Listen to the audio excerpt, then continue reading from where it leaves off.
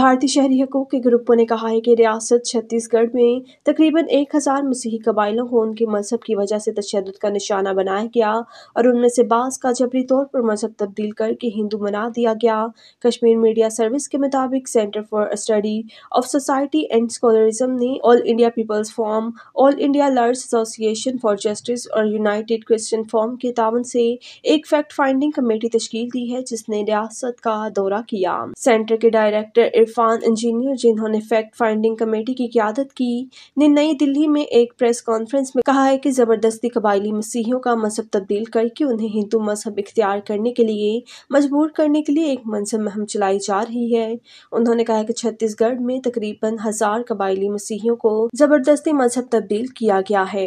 उन्होंने कहा है कि 9 दिसंबर से 18 दिसंबर तक नारायणपुर के तकरीबन 18 देहात और कोंडागांव के 15 देहात में सिलसिलावार हमले किए गए, जिसमें तकरीबन हज़ार कबायली मसीहियों को उनके गाँव से बेदखल कर दिया गया। उन्होंने कहा है कि बेघर किए जाने वाले उनके मसीहियों को ज़बरदस्ती हिंदू मज़हब इख्तियार करने पर मजबूर किया गया और ऐसा न करने की सूरत में उन्हें अपना गाँव छोड़ना पड़ेगा